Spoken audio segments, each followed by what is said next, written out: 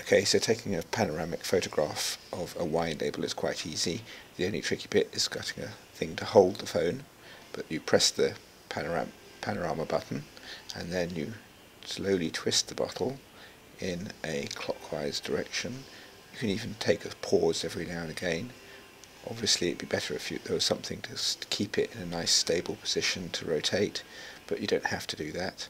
And you carry on going round and round and round until you've captured the whole of the label you want to and then you just press the stop button on the panorama